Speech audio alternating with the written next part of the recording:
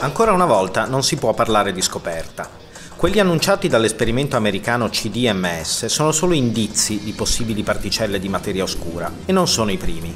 Già nel 2010 lo stesso esperimento, collocato sottoterra in un'ex miniera del Minnesota, aveva osservato due eventi sospetti, che però potevano essere spiegati anche come oscillazioni casuali del rumore di fondo. Ora il team di CDMS ha registrato tre eventi che potrebbero essere le collisioni tra particelle ordinarie e le WIMP, le presunte particelle di materia oscura.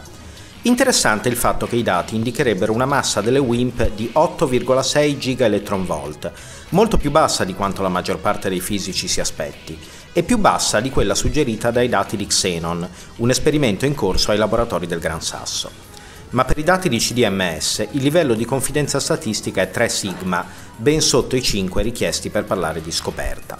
La gara a chi scova per primo una particella di materia oscura resta insomma apertissima.